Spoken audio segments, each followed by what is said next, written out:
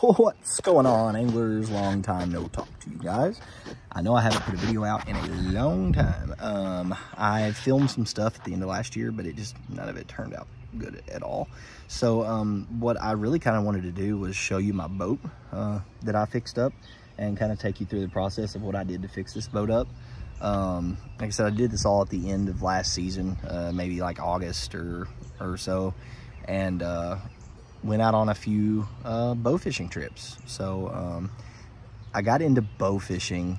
Uh, I, have always disagreed with bow fishing. So I've never liked bow fishing at all. Um, because like, I'm just like, you're just uselessly killing fish. Like, and then you're not eating them. They're carp. I don't know about you, but I don't want to eat a carp. Um, I don't eat gar. So uh, it's just kind of a useless thing. But I got to looking at exactly what bow fishing does.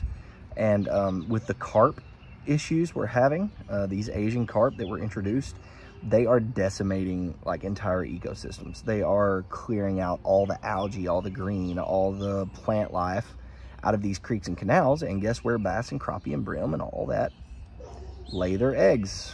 That's right, on the bottom in the green. And then they eat that green. They eat those eggs during the spawn. They eat all that green so that they have no green to lay them into and uh, it's just becoming a very big problem. There's places where it's definitely hurting the bass, brim, crappie population, and it's only getting worse. That's the main problem. So we have to do something to trim back the population of these guys, and about the best way to do it is to shoot them with an arrow and pull them in a boat. So uh, that, that's what bow fishermen do, and and man, it's a ton of fun. Like I'm I'm in love with this. But basically, I just wanted to show you the boat and walk you through that. So um, I, I, will I will show you that. If you want to skip right now, um, I will put a stamp down in the description uh, and tell you exactly like where I start wiring the boat because that's one of my worst hated things when people talk for 15 minutes when I just want to watch how, how to do something. So uh, I'll put that stamp down there and you can skip to that uh, where I actually start showing how I wired the boat. But anyway, let's go to it. Anyway, at the end of last year, I uh, had this boat in the backyard. Um, it used to be my dad's boat stayed over his house for a long time. The trailer's dry rotted. And There was a couple things wrong with it, so it just kind of set uh, for a couple years, and then um, it came to my house to be stored at my house, and then it sat in my yard for a couple years. So um, there was a bunch of trees growing up in it and leaves all down the bottom of it. It was horrible. But at the end of last year, I had a friend that took me out on a bow fishing trip. And I'd never been bow fishing before. And honestly, I always thought bow fishing was kind of cruel and so I didn't want to go. Um, you know, and I, I didn't want to do it. But anyway, I got to reading about bow fishing, and uh, prior to going on this trip, and turns out bow fishermen do more for the environment than we could ever know. Um, this Asian carp problem that we're having, and honestly a carp problem overall, is starting to get kind of serious, and I think it's a lot more serious than a lot of us know um, as far as what they can do to the environment um, and what they can do to uh, just the, the, the habitat and, and, the ecosystem because they eat so much algae, which is the reason they were first introduced. Um, here was that they eat so much algae and they get, you know, they clean up a lot of this uh, places with algae problems, but they had no clue how widespread they would get, how fast. And now they are in places where there needs to be, uh, uh you know, plant life on the floor of the creek, river, lake, whatever. And um, these guys come down through and eat that. Well, uh, if you look at where bass and crappie and brim lay their eggs, they lay it in that algae and in that green on the bottom of the uh, on the bottom of the channel, on the bottom of the water column. So uh, these carp are coming along and they're eating all of these eggs and all of their habitat where they lay their eggs. So it's very important um, that we control the population of these and bow fishermen are the best uh, chance for that right now so anyway after reading this it was like you know hey maybe it's a maybe it's something to check out went with my friend on a really clear lake um, he has a very simple setup with like six lights on his bass boat and man i had a blast we didn't even shoot that many fish i think we shot seven or eight fish i had so much fun so um, after that, I decided that I needed a boat.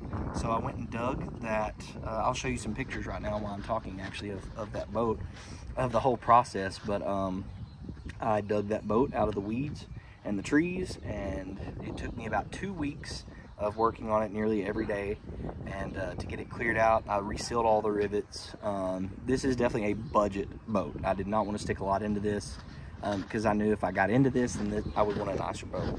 Here we are back with this boat this year and that's what I've been working on as you can see all the tools and wiring everything as you can see from all the tools and the wiring and everything. So um, we started out last year, uh, like I said, I went super budget. I mean, this is all two sheets of plywood and some two by fours that I got for free. So, I mean, you know, I had maybe 150 bucks total in building this boat out. Um, I ordered some $45 lights from Amazon that run off your battery and honestly got got us out there and got us to bow fish. Uh, we shot a lot of fish at the end of last year over about five or six trips before it got too cold to go. And uh, the main problem with this boat was is the trailer was always really bad. Um, the bearings were shot. Uh, the the wheels were not trailer wheels; they were car wheels, and they didn't roll well. So this year we got two brand new trailer tires and wheels on here. Um, we got brand new bearings, uh, so I don't mind going on trips now and taking this different places. And the most important thing is we upgraded the lights. Uh, I still don't want to put a lot of money in this boat because um, I'm selling my big bass boat. Uh, I just don't use it enough to keep it. So um, in case I do upgrade to a nicer boat, I don't want to have just thousands and thousands of dollars in this thing. So we're still keeping it budget, but they make something called a Vi Viugreum. I'm hoping I'm saying that right. Light, that's it right there. You can get them on eBay. I think these were 160 for all 10. And I do have 10 lights on the boat, uh, two in the front and four on the sides. And then found a generator for sale, uh, used online. And um, I paid $150 for it. It is a 4,000 watt generator, 3,200 peak, whatever. It's 3,200 watt generator, but uh, which is plenty enough to run my lights. And what's really nice about running a generator for anybody who doesn't bowfish is uh, you can actually order this thing called a Power Max and it's a AC to DC converter. I can plug it in to a battery. I can have one single battery that runs this whole boat and um, the Power Max will keep that battery charged all night long. I never have to worry about my trolling motor. I can run it on full all night long, never worry about, you know, battery situation. But um, if, you know, there was a problem with the generator, I can still, I can still run my trolling motor. So um, that's that's very nice. And um, yeah so I, I like this. We have a 55 pound thrust hand control trolling motor on the front. And uh, I made a nice little redneck ingenuity stick so that it, uh, I don't have to reach down to run the trolling motor. It's about all I've done to this boat. Um, I've got an old motor on there for a rudder that's it uh, so my goal this year was to put bow fishing lights on this boat and to, um, you know, upgrade the lights, put a motor on it. And uh, that's about all I'm going to do with this boat. I'm going to keep fishing out of it. So uh, anyway, what I wanted to do though was I wanted to make a video and I wanted to walk through how I'm wiring these lights. Is this the official way? Is this the best way? No, but um, I really wanted to uh, make a video because there's really not any good videos for somebody who's just never done this. You know, I had a good idea of what I wanted to do, but um, it would have been nice to just watch somebody else do it and know it works. Um, I started out with like what you would consider like in-house wiring, like solid, solid copper core wiring. Um, and it worked, but this stuff is very brittle. And if you bend it back and forth too many times, um, it will, or if you ever nick the outer uh, sheathing, if, if you do anything to it, the stuff just breaks. Like I can bend that back and forth a few times and just sit there and break that. So um, I did not like that. Uh, it's because I like my stuff to at least be reliable. I don't like to have problems when I'm out on the water. So um, what we did was I kind of got a little angry that I wasted that much time and that much money on the wire because this stuff is not cheap.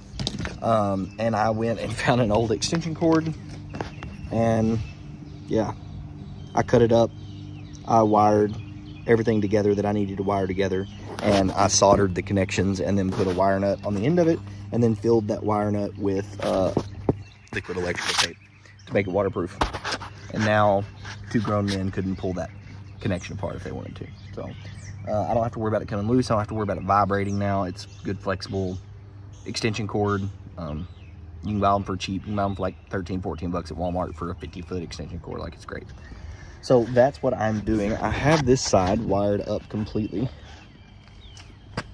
Um, I still have to wire back my DC stuff because I still do have stuff that runs off DC. These are all AC lights. Um, they do make DC bow fishing lights, but they're very expensive. So we're not going that direction. Again, we're doing this as cheap as possible. But um, yeah, they just plug directly into the generator. Um, I ran a wire back to a plug and that just plugs into an extension cord with a splitter. Uh, you can run everything on one socket in your generator. These are 100 watt lights and there's 10 of them. So you do the math on that. I think it comes out to like, mm, I forget how many amps, seven, eight amps, something like that. Um, but I, what I did was I wired one side and then wired the other side. Uh, eventually, if I get bored, I'm probably going to wire my front lights on a switch and then wire my left and right on a switch. That way I can just turn them on and off individually for when I'm like driving or backing the boat in or whatever. But for now, I just want them working. So uh, I wired one side together, wired the other side together, and going to have two plugs that you just plug into your extension cord and they just work. So uh, it's just less stuff to fail that way. But uh, anyway, I'm to make a couple little videos on what I'm doing as far as wiring these lights. Um, it, it'll be pretty self-explanatory, but just in case you're like me and you're doing this for the first time and you just want to see maybe what somebody else is doing, uh, you'll you'll have it. So uh, yeah, without further ado, here we go. Okie dokie, normally I would have my GoPro on for this, so I would be hands-free, but we're gonna do this one-handed so I can just kind of show you guys what I did. Uh, on the wall I'm doing, these, these lights come like this, and I stripped these back. They come with a blue, yellow, and brown. Now, this is not our colors for what we would normally use. Uh, normally, like if you cut an open extension cord, you're gonna have green, white, and, um, what is it? Green, white, and black. So, um, what I did was I took my white wire, I wired it to the blue. This was through trial and error, by the way. I should have looked it up, but I didn't. And then your yellow with the green stripe is your ground and that goes to the green wire in your extension cord. And then um, the black wire goes to the brown wires. And that's basically all I did. I just pulled them all up here, stripped them. Uh, I have three connections. I have my front light running into my second light and then the extension cord running out from that connection. But uh, basically, I just twisted those together and I have a little soldering iron.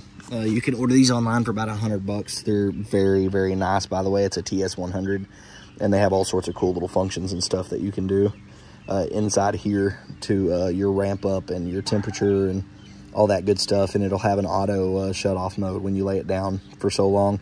It shuts off and then when you pick it up, it's got an accelerometer in it and it will uh, it will start heating back up. And they heat up in like five seconds, literally five seconds. They're fantastic. Nice little pencil size. And you can actually run these off a lithium battery as well, so it's very nice. But this is not a soldering walkthrough. If you want a soldering walkthrough, there's a ton of those on YouTube. So anyway, uh, I just wired all three together, those, soldered them. You literally cannot pull these apart now. Um, you would have to break the wire before you would ever pull these apart. And then what I'm doing is I'm taking a wire nut and I'm just threading it on there. I'm obviously not gonna be able to thread it on there right now, probably. No, I can. So I'm just threading that on there pretty tight. Uh, that way it holds all three of those wires really solidly. And then um, all I'm doing is taking a, a liquid electrical tape and I'm just filling up this wire nut with uh, liquid electrical tape. And, and, actually, I kind of lied to you there. What I was doing before was I was taking liquid electrical tape, painting it on here, then twisting this on here, then daubing that down down in there. And that way it just makes it all, makes the connection nice and waterproof.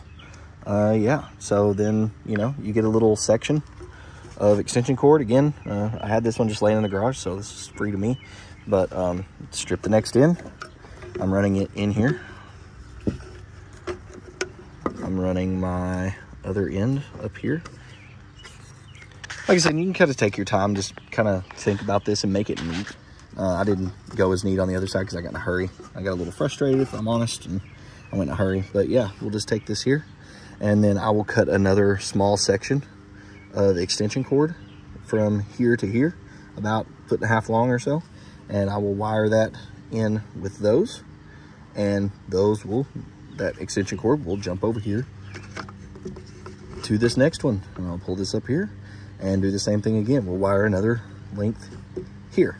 And then uh, once I get here, I'll kind of show you, I'll kind of show you what I'm doing But um, yeah, I'm gonna go ahead and wire uh, from here all the way down. I'm just gonna link all those together. Uh, I did wanna put this in here really quick uh, toward the front because they make these T-shaped connectors, right? You run one wire in this side, the other side runs out that, and then one wire runs down. It is very neat, okay? And it would be very much easier because you just run your wire up in there and then it has a little set screw you just crimp it with. That would be the best way.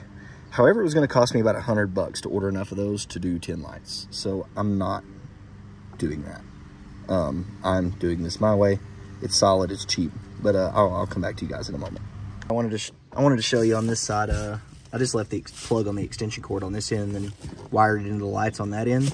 Then this one, they make these nice little uh, adapters. I can show you how that works. Actually, see there's like the cap portion of it. And then the other portion, I know I had that. Ah, it was back here on the ground. See, then the other side just wires in like so. And uh, like I said, that the back portion comes up and screws in. But uh, they're handy. Like I said, this wire just didn't work well. Uh, it kept breaking right here at this collar. Uh, any kind of flexing or anything can break them. You get bad connections, no connection, shorts. So uh, yeah, we got rid of that and we just went good old extension cord. It's plenty enough. Uh, this extension cord's rated for 15 amps. And like I said, I'm only running maximum like three and a half amps per side. So uh, that's more than enough. Most generators, see the generator's rated at 13 amps, so I have plenty of headroom on the uh, internal breaker on the generator. And uh, yeah, that's about it. So anyway, there guys, there you have it. It's really weird that the lights look like they're strobing in this. It's kind of crazy.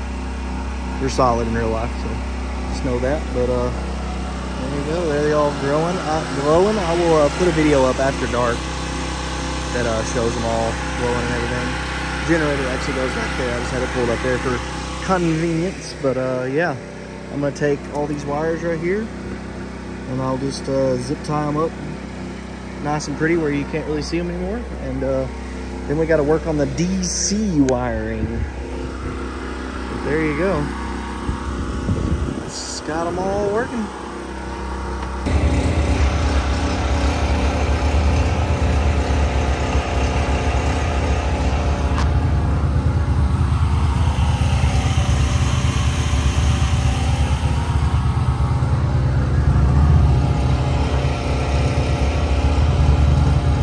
Hope that helps somebody out. I hope, you know, because um, like I said, I had never done AC wiring. I didn't know if there was anything different if you just linked them together. What?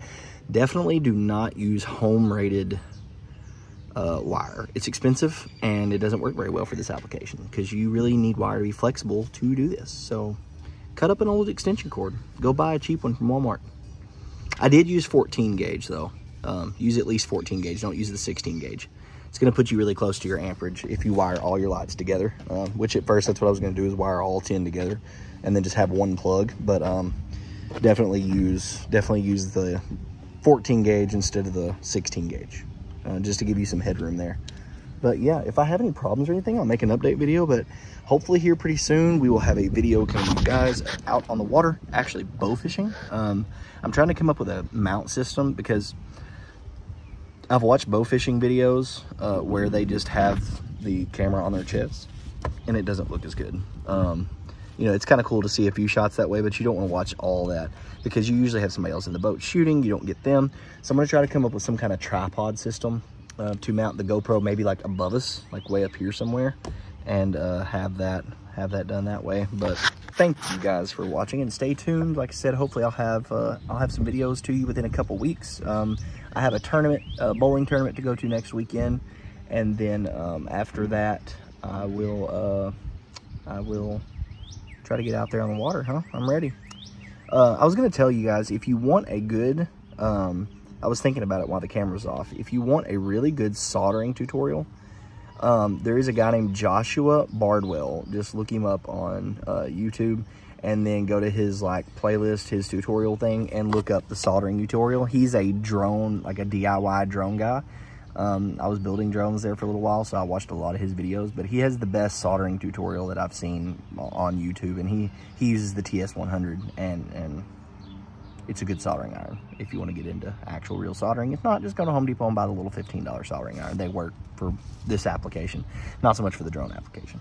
Uh, but anyway, so thank you guys for watching and stay tuned. Be sure like, subscribe, all that good stuff. Later.